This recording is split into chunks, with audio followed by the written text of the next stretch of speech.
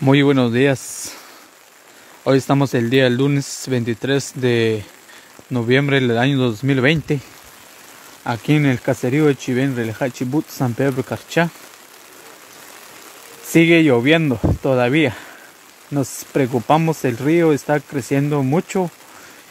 Y algunas personas están diciendo que tal vez estamos llegando en el tiempo de Noé.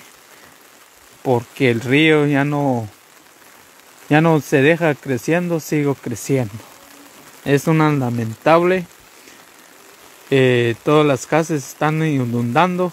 En otra comunidad, en caserío, en comunidad Chibut, centro, casi la mayoría de las casas está inundado. Es lamentablemente